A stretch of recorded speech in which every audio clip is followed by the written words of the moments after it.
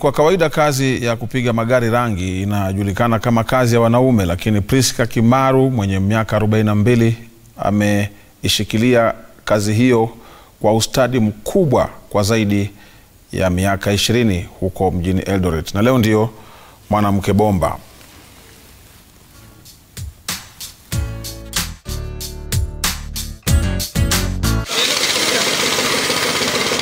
Kwa majina naitwa Priska Chepkorir Kimaru. Mi ni fundi wa rangi. Niliamua kufanya hii kazi manake niliona wanaume wakifanya hii kazi, nikajaribu kufanya kazi na hawa hivi.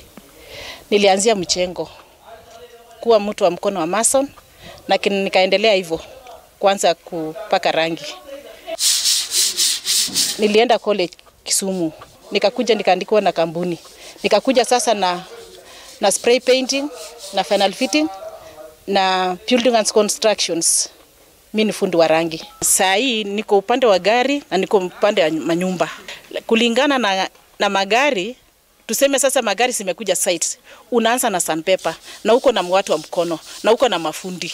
Sasa unaanza ile yenye umeisha pale ya kwanza, unaanza kupiga sandpaper. After sandpaper kuna mafundi hapo hivi wanaanzia pale, na mi niko pande hii tunafanya ufundi na, wa, na wafundi wenzangu, alafu sikuna zingine tunaweza pika hata magari nne kwa siku.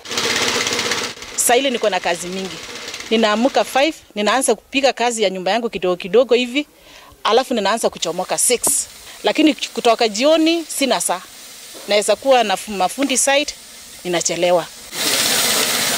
Vile nilikuwa naanza kufanya na wanaume, matamshi peke yake ilikuwa inaniogopesha. Ni wanaume ni watu wenye ukijiheshimu watakuheshimu na mnachapa kazi nao. Challenges, kuna challenges mingi sana kulingana mimi sasa ni ya lady. Juu hii kazi haina saa. Na sana sana unakaa na wanaume sana. Na mzee kukuona kama uko na wanaume, mtakosana naye. Hata kubali hivyo. Na kazi yangu si ya kusimama mali moja. Ni kutembea. Na hii kazi huwezi sema nitaingia saa fulani.